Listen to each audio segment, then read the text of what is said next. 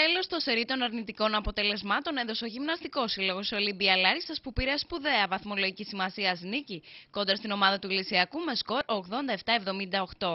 Οι παίχτε του Γιώργου Καλαφατάκη, παίζοντας με ψυχή και πάθος, ικανοποίησαν τον κόσμο που βρέθηκε στο κλειστό γυμναστήριο της Νεάπολη το απόγευμα και φυσικά τον προπονητή τους που δήλωσε μετά το τέλος της αναμέτρησης. Για μας ήταν ένα καθοριστικό και οριακό παιχνίδι για τη συνέχεια. Μας ενδιαφέρει η νίκη γιατί μας κρατάει ζωντανού στην υπόθεση σωτηρία. Αυτή η νίκη λέει πολλά, αλλά δεν λέει και τίποτα αν δεν έρθουν ακόμα τουλάχιστον τέσσερις νίκες. Θέλουμε στα υπόλοιπα 11 παιχνίδια τουλάχιστον τέσσερις, τουλάχιστον εγώ λέω.